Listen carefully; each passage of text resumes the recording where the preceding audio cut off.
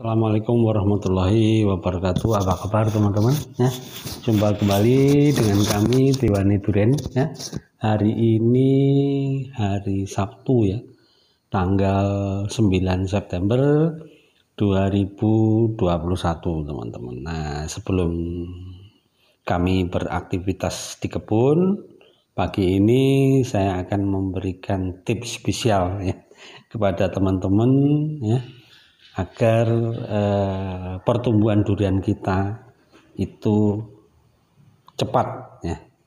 Syarat pertumbuhan durian kita cepat itu apabila ya durian itu merasa bahagia.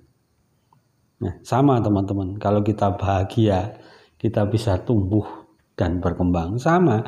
Nah, durian pun juga seperti itu, teman-teman. Nah, apa yang bisa membuat durian itu hidup bahagia?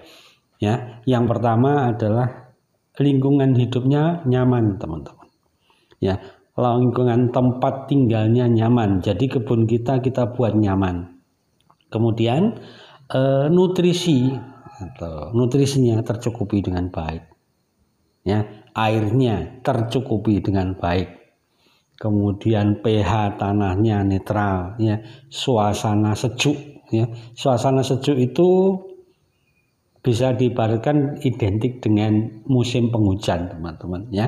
Rata-rata kalau kita perhatikan di musim penghujan itu temperaturnya di bawah 27 derajat celcius temperaturnya. Nah itulah temperatur ideal eh, pohon durian tumbuh maksimal teman-teman. Kemudian sinar matahari bersinar sepanjang hari. Itu bisa membuat eh, durian itu tumbuh cepat. Kemudian tingkat, jadi tanahnya harus gembur teman-teman ya. Tanahnya gembur atau tanah dengan porositas tinggi. Porositas tinggi itu identik dengan tanah gembur, banyak lubang-lubang uh, tanah berlubang berpori ya. Gembur sehingga sirkulasi udara di dalam tanah berjalan dengan baik teman-teman. Uh, kemudian pH tanah tadi sudah, kemudian porositas tanah sudah, uh, selanjutnya adalah terjaga kelembapannya ya. Akar tidak terkena eh, tidak pernah tergenang air kemudian akar tidak pernah mengalami kekeringan ya. Mikroba bisa berkembang biak dan tumbuh baik di situ itu bisa membuat apa ya pertumbuhan ya, durian kita cepat Nah, yang tidak kalah penting adalah perawatan terhadap hama dan penyakit, teman-teman. Ya, jangan lupa ini sangat penting sekali. Kalau uh, durian kita itu mudah sekali terserang penyakit, ya, hidupnya juga tidak bahagia. Kalau durian hidupnya tidak bahagia, tidak merasa nyaman di situ, ya dia tidak bisa tumbuh dengan cepat. Tapi tidak semua situasi yang kita harapkan di fase vegetatif itu terpenuhi dengan baik, teman-teman. Ya, kadangkala ya pohon durian bisa stres.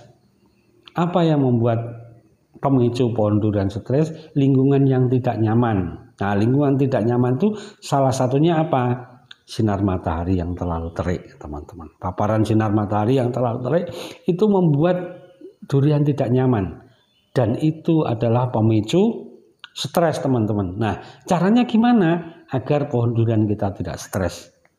Ya, teman-teman bisa bayangkan kan kalau misalnya manusia stres, uh, kita sebagai manusia itu stres, manusia sendiri stres, itu mau melakukan aktivitas saja nggak mau, makan tidak mau, semuanya tidak enak teman-teman. Begitu juga, ya kalau pohon durian kita stres. Nah, agar pohon durian kita itu tidak mengalami stres berkepanjangan yang berakibat dia tidak mau mau menyerap nutrisi, mau beraktivitas apa saja, itu ada caranya teman-teman. Ya, caranya gimana?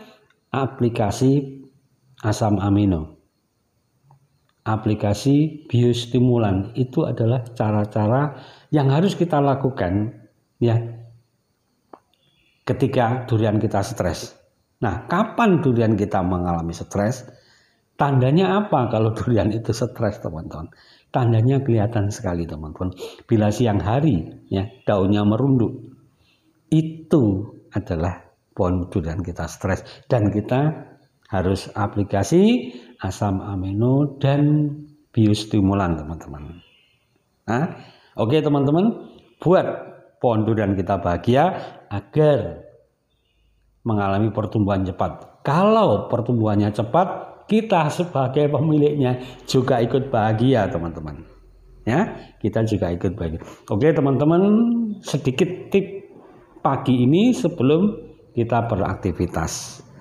Selamat menikmati ya liburan akhir pekan bersama orang-orang tercinta teman-teman.